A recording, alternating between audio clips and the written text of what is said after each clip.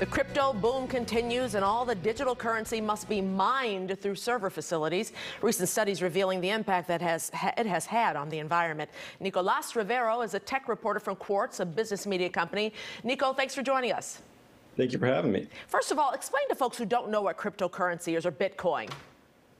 Uh, well, it's basically a kind of digital asset um, that is hoping to one day uh, essentially replace hard currency like the US dollar. So to get or to play, or I shouldn't say play, but invest with Bitcoin, you have to have it mined, right? Like like coal or something.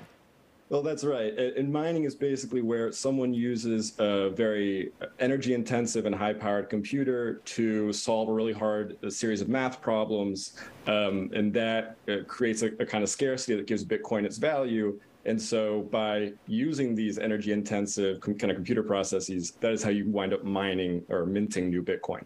And that energy intensive process could uh, really cause a problem with the electrical grid, can't it?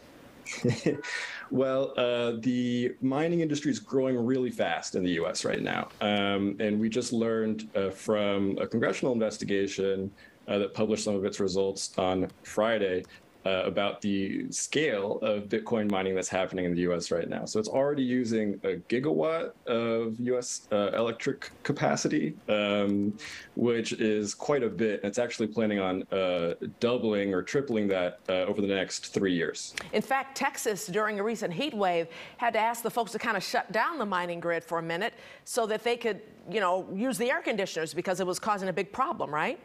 That's exactly right. Texas has become a, a, big hub for, for Bitcoin mining. So when they had that uh, back in February, when they had the winter power outage, and more recently, when they've had some strain in the grid right now, they've had to pay Bitcoin miners to go offline so that there can be enough power to go around people's homes and businesses. So this is causing a major carbon footprint, and that could cause a lot of problems for everyone here in the U.S. and possibly um, across the country or across the world. So what do we do? Should there be? How do we sustain this? I should I should ask you.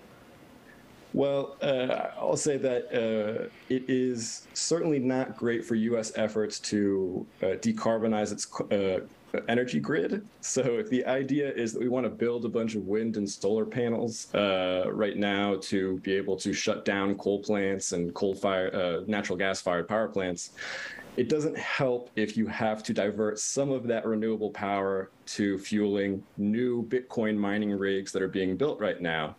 Um, but that is the case. I mean, it is a free market. There isn't a way to stop kind of companies from doing this. Um, but it's the kind of thing where this expansion of energy demand will make it uh, more difficult or slow us down in our efforts to transition away from fossil fuels. So I guess the question is cryptocurrency, power grid. I mean, you know, who's going to win out and how do we adjust to this?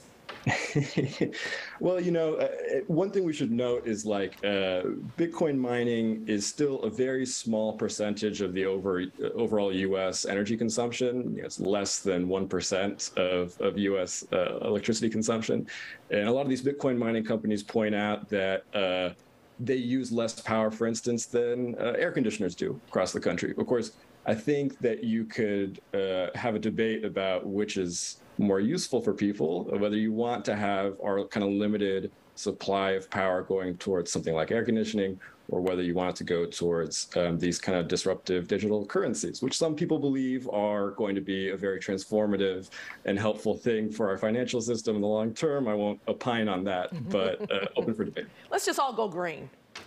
all right. Thank you, Nico. Appreciate it. Thank you.